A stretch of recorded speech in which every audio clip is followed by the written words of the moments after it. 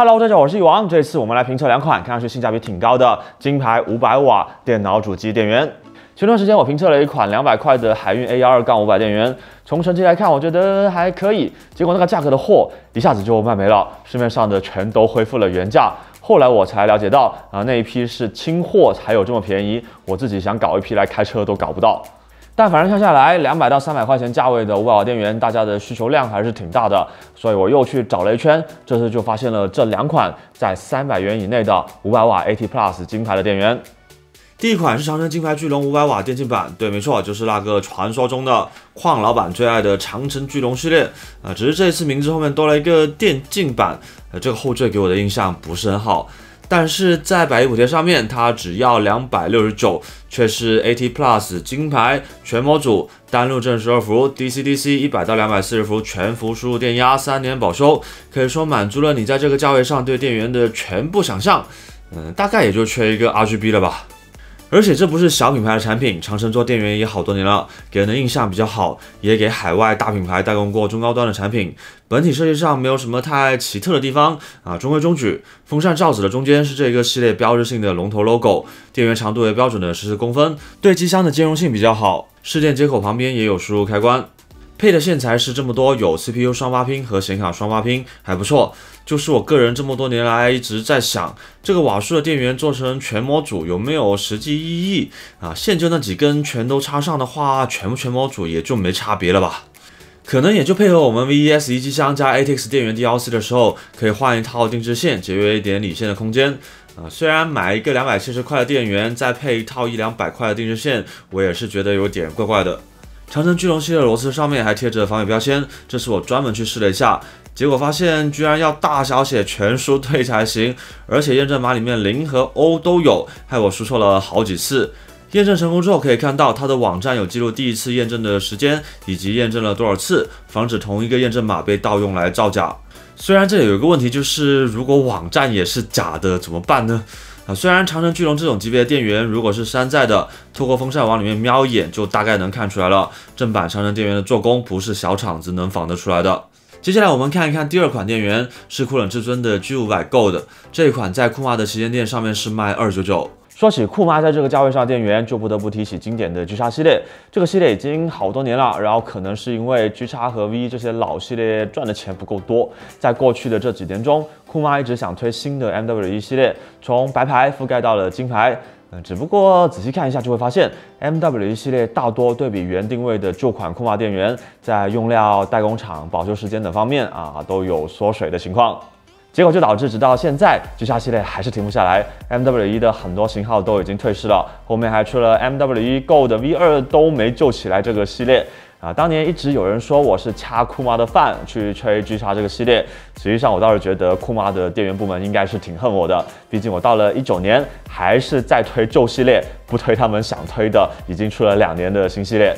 酷妈前段时间又把 G 叉和 V 这两个老字号挖了出来，给出了一些新款。那些新款我还没有测过，不知道表现怎么样。这次的 G 五百 Gold 其实是另外一位大佬推荐给我的，他说测了一下表现不错，我看了一下，感觉也是真的还可以，就买回来玩玩看了。主要还是看隔了一段时间之后有没有缩水啥的，这次顺便就给一起做成了视频。虽然这款不像居家系列是全日系电容，但依然有五年保修。然后和刚才的长城巨龙电竞版一样，是 AT Plus 金牌单路正十二伏 DC-DC，一百到两百四十伏全幅输入电压，少一个全模组，保修时间长一点，再加上三百块的价格，还是有替代居家四五零的潜力的。这款电源同样是十四公分标准长度啊，不过说真的，才五百瓦又不是全模组，还要做成长电源的话，是有那么一点说不过去的。然后同样有电源的输入开关。线材方面同样有 CPU 双挖拼和显卡双挖拼，这个瓦数来说是非常够用的。然后虽然线材是直出的，但都是扁平线，对装机时走背线是有帮助的。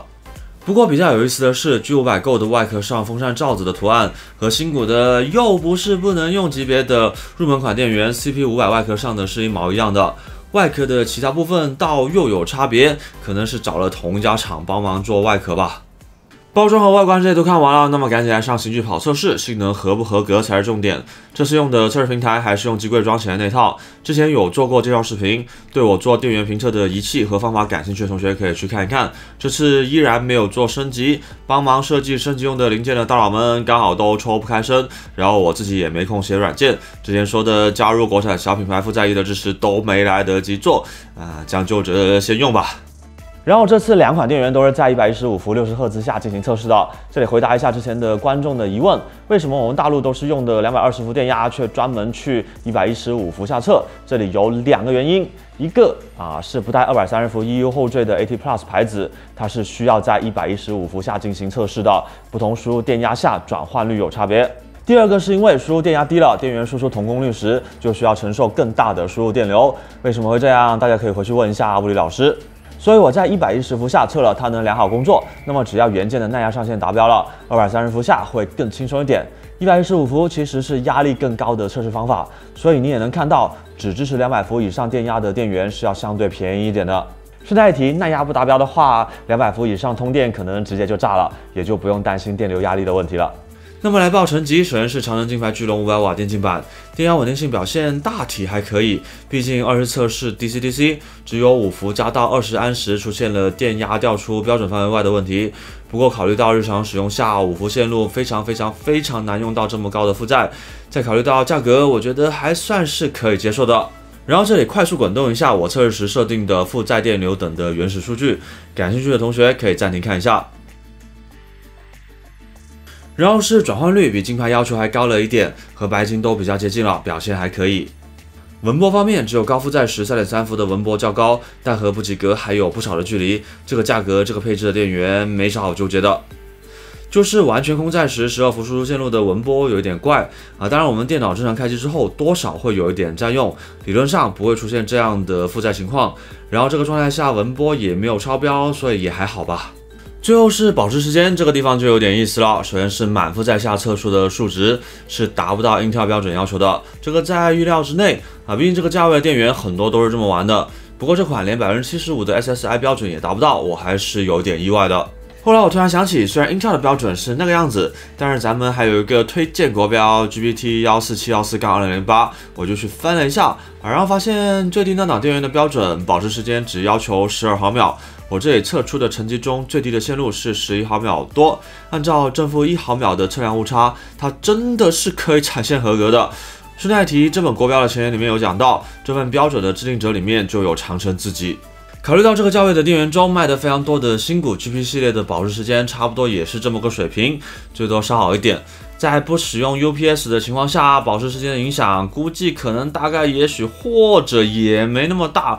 只能说又不是不能用吧。接下来我们再看看这次测试的另外一款电源酷妈 G500 Gold。这款电源的性能可以聊得相对少一点，因为成绩单上没有什么出问题的地方。首先电压稳定性表现还不错，巨大的偏移也只有百分之三，这是 DC-DC 应有的表现。同样还是放一下原始数据表格，特别感兴趣较真的同学才暂停去看，普通观众看前面那个曲线图就差不多了。转换率在一百一十五伏金牌曲线上低空飞行，但不管怎么说，合格了就是合格了，没什么毛病。最大文波同样达到要求，五伏稍高点，但同样因为是性价比电源，咱们也不会按顶级电源的标准去要求它，合格就挺好的了。最后是保持时间，意外的表现还挺不错的，比 Intel 标准都还高挺多。一九年时测了几款四百块的电源，也只有酷妈的 G 叉五五零是保持时间勉强能达到 Intel 标准的。还有，我现在知道为什么其他三款电源最低的都是十二毫秒了。那么过来就是拆解的部分，首先是长城巨龙电竞版，撕标签的时候我特地的加热了一下，然后还是有流胶，它是特意选了双层的，那层特别容易坏的贴纸，这个标签确实是长城的味道。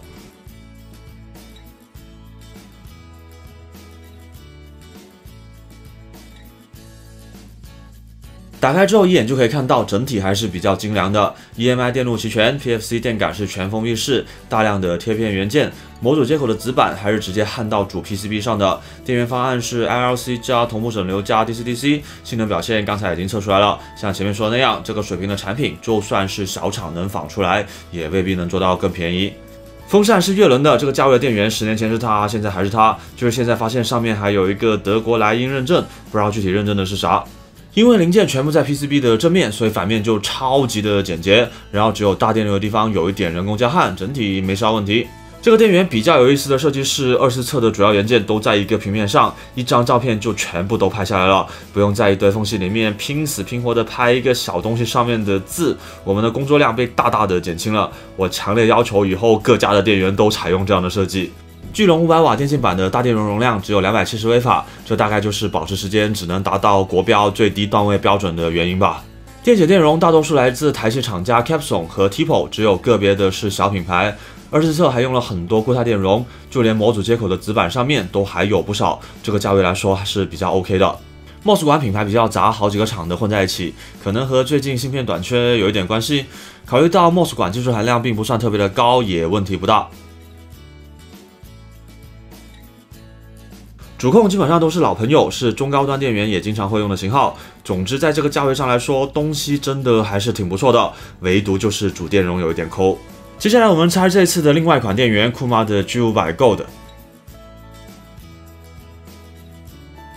剪炸弹的时候把一条导线的皮给剪破了，还好里面的铜线没有断，拿绝缘胶布包一下还是能用的。然后这个风扇的插头打的胶水是意外的牢固，我拿东西撬都撬不开，这可以算是质量好吧。主 PCB 还算工整，EMI 同样非常的齐全。这款电源的架构是 LLC 全桥加同步整流加 DC-DC。代工厂我通过 3C 编号查了一下，应该是惠州市新辉源。很久之前拆过的爱国者电竞六百，还有酷妈定位高一点的 MWE Gold V2，都是这家工厂代工的。LLC 全桥算是他家的特色，呃，只不过这次的零件布局和之前见过的都不一样，可能是这段时间出来的新方案。新辉源帮酷妈代工了不少电源，然后可能是为了出海外，很多认证是找莱茵做的，看起来挺高大上的，技术方面应该没有太大问题。风扇是东维风的，也算是这个价位比较常见的选择吧。PCB 的背面同样也是绝大部分机器焊接，个别走大电流的位置人工补焊。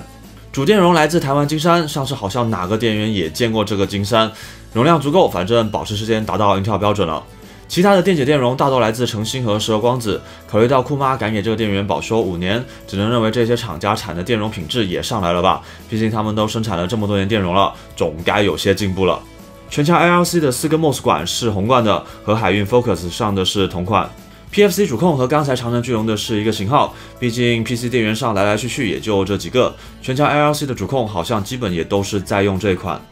二次侧 MOS 管和五伏待机主控来自台湾杰力科技，定位更高的 Android Go 的 V2 系列也是用的这个牌子。这颗五伏待机主控同样有在海运 Focus 上出现。PFC 上的管子来自韩国三米号，好像和三星有一点关系。其他的几个芯片，除了标志太简单的，我一下子没有查到，都基本上能在中高端电源上找到。总之，这款电源整体用料还是不错的。那么就来到总结时间了。首先是长城金牌巨龙五百瓦电竞版，我觉得它的做工用料以及性能还是对得起两百六十九这个价位的。但毕竟因为成本有限，总的技能点就这么多，点了全模组之后，别的地方就难免会缺一点，保持时间没能达到英特尔标准，还是有一点遗憾。如果是真的非常需要全模组，或者是特别认可长城这个品牌，你觉得长城的品控做工就是特别好，那么这款电源我觉得还是可以考虑的啊。不然的话，三百块以内有新股的 GP 六百 G，性能表现差不多，保修还多两年，就只是少一个全模组。